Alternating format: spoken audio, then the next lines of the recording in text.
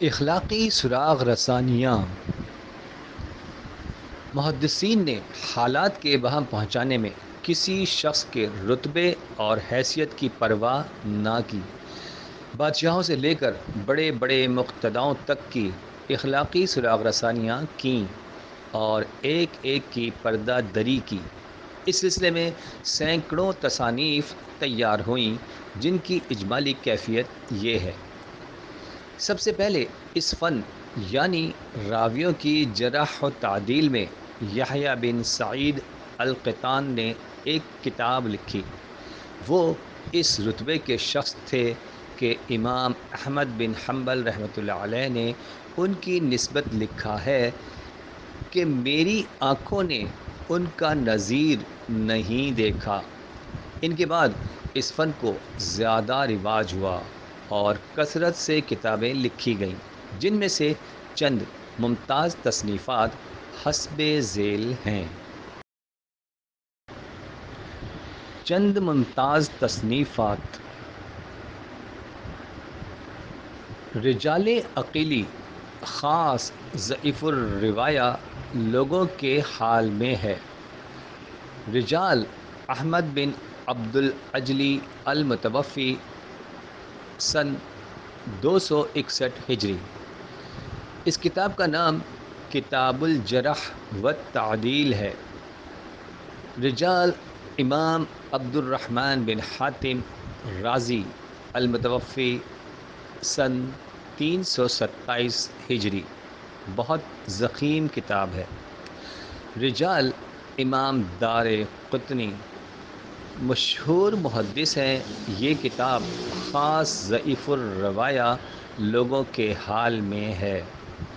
کامل ابن ادئی اس فن کی سب سے مشہور کتاب ہے اور تمام محدثین و متاثرین نے اس کو اپنا ماخذ قرار دیا ہے۔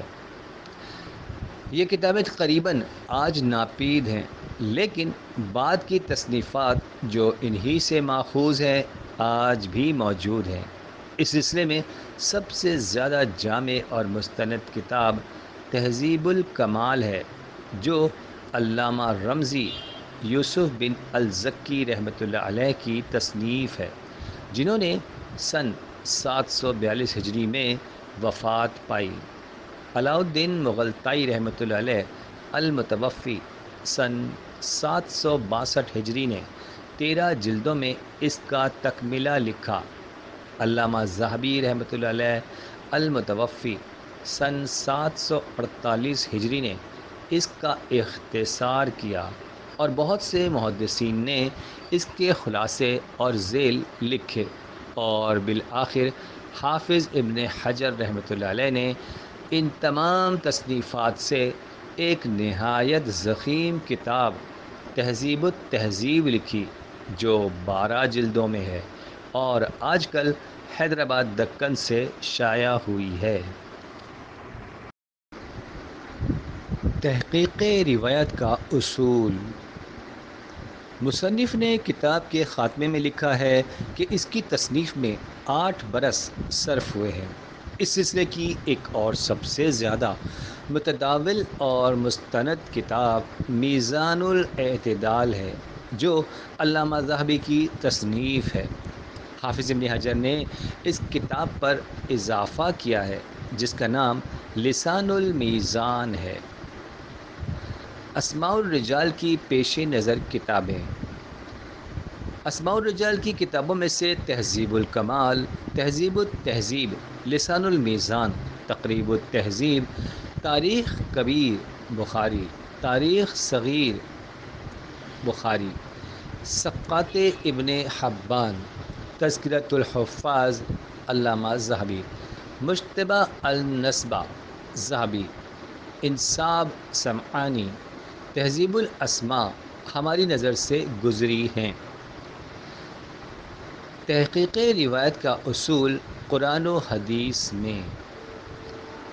اس اصول تحقیق کی بنیاد خود قرآن مجید نے قائم کر دی تھی۔ يا أيها الذين آمنوا إن جاءكم فاسق بنبأ فتبينوا